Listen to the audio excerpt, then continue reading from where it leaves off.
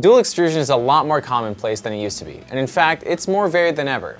Some 3D printers have both nozzles in the tool head, but they alternate back and forth when it switches from one color material to the other. Others have two different tool heads where one comes in, does the printing, parks, and then the other comes in, does its printing and parks. Some have one nozzle and two inputs so that they can purge between one and start printing with the other, or some have two nozzles at the same height, just mounted on the same print head, like the E3D Chimera. But each of these have their own advantages and disadvantages, and if you don't already have these on your printer, there is going to be some external cost involved in order to upgrade your printer to have dual extrusion capabilities, unless you fake it.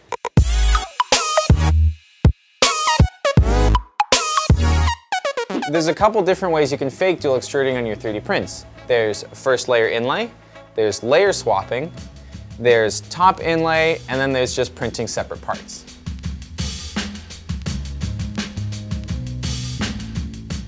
Using separate parts is exactly what it sounds like. You have a base piece and some other pieces that slot into it. Now this is specific to models that don't have any odd angles. They need to have straight walls so that it can easily slide into the other part. Like these two, for example.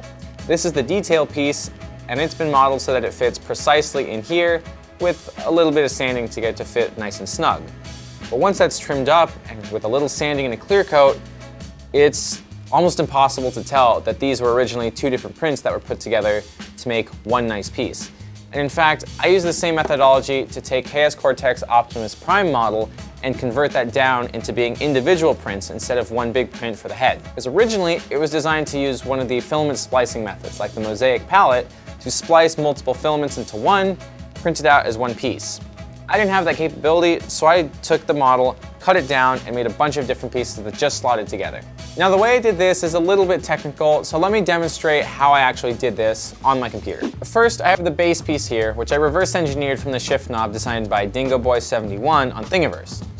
The top and bottom sections are essentially the same with some modification made for my car, which has an M8 threading for the shift knob instead of the M12 that the original was made for.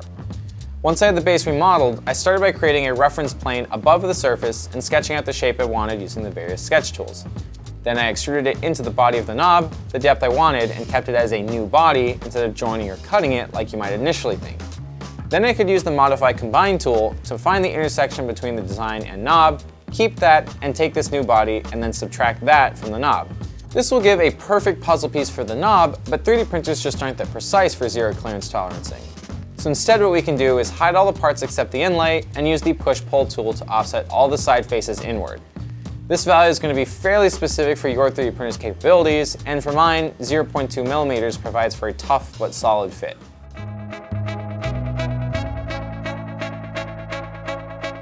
Layer swapping is one of the most commonly used methods within the MatterHackers office, and that's just because it's so easy. All you have to do is take your original model, slice it, and put it on your printer, and then pause it at the right point. And you can either do that by pausing it through the LCD, you can have an M code within the G code that you manually put there so that it pauses at the right layer, or if you're using Matter Control, you just tell it at which layer you need it to pause.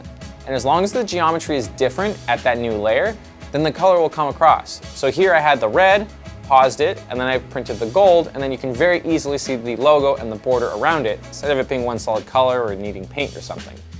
And once you get good at it, you can really get far with it, like printing a lot of different colors at once to create a much more vibrant textile or whatever object you're trying to print. And you're not just limited to really flat things, you are just limited in changing only at the layer. So something like this, even though it's very three-dimensional, all I had to do was pause it, change it to black, pause it again, change it to white, and then once it got to the gas cap, pause again and change to black but it didn't require me to change the model at all. I could have done this in entirely one color. It's just really nice to have this done all in one piece.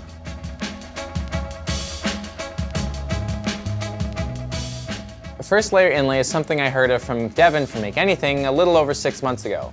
He described a process where you print a part, don't remove it from the bed, and just print directly over that to create a dual color 3D print.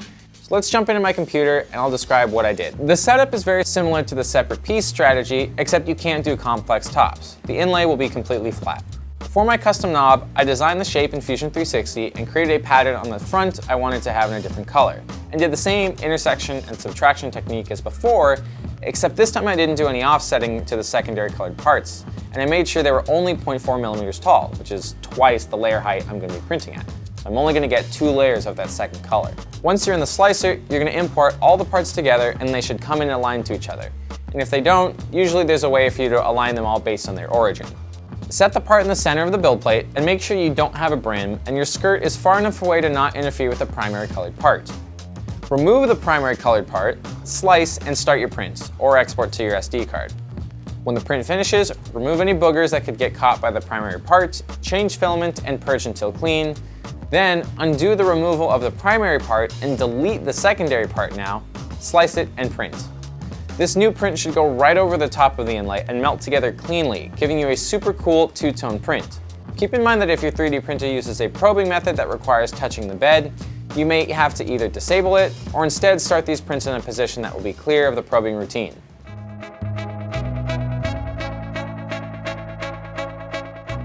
Top inlay isn't something I considered until a coworker Mike showed me his version of it.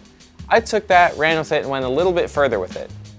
So here you have a keychain that says mailroom. Use the first layer inlay I just previously described. But on the top, it also has the same print on it. So to most people, this would look like it was dual extruded to print this way. But in actuality, what I did is I have a cavity here that's spaced specifically so that it doesn't interfere with the nozzle.